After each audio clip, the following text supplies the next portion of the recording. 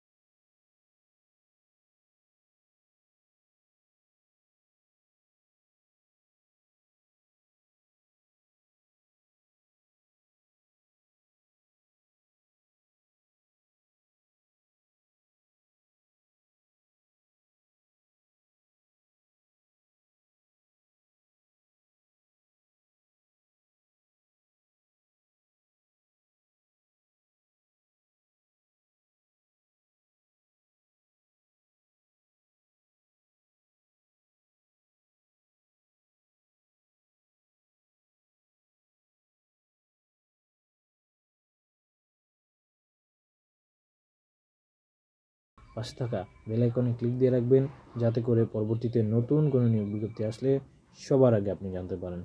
সবার জন্য অনেক অনেক দোয়া রইল।